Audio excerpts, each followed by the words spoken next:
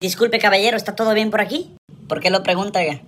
Pues porque ya hace como 10 minutos que le traje su sopa y veo que no se la está comiendo. Ah, por eso. Pruebe la sopa, ya.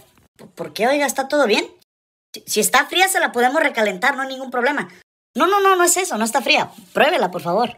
¿O, le salió algún cabello en la sopa? ¿Se la podemos cambiar? No, no hay ningún cabello, ya está limpia. Pruébela, por favor. Ya sé, le falta sal. Ya le traigo un salero enseguida, ¿eh? No se preocupe. No, no, tampoco le falta sal. Pruébela, por favor. Pues es que... No. Ah, ya sé. No es la sopa que usted pidió. Ya, ya se la cambio enseguida, ya. No, no, no, tampoco es eso. Esta es la sopa que yo pedí. Pruébela, por favor. Pues es que usted no me dice que... Está bien, pues. ¿Dónde está la cuchara? Exactamente, ¿dónde está la cuchara? Pues no me trajiste, ¿cómo me voy a comer la sopa? Ay, pues es que se me hubiera. No me dice. Yo se la traigo. Repite conmigo. Tú eres hermosa. Tú eres brillante.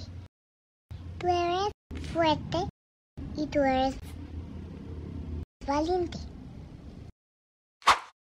Dime el nombre de una bebida que alimente bastante y refresque. La cerveza, profe. Está bien, Gregory. Tienes 4 con 9. ¿Pero por qué se lo dije bien? Porque te faltó decir que bien fría.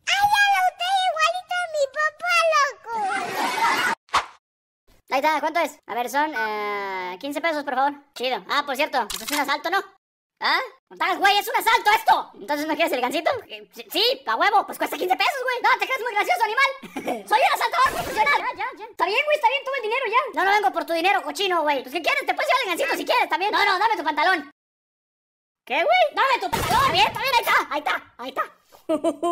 Ese es un buen pantalón, ¿eh? ¡Ey, ¿por qué suena tanto ruido aquí, eh? ¿Usted quién piñas es? Soy el encargado de la tienda y... ¿Por qué no tienes pantalón? Hacía calor. Me vale madre, ¿quién eres tú, ok?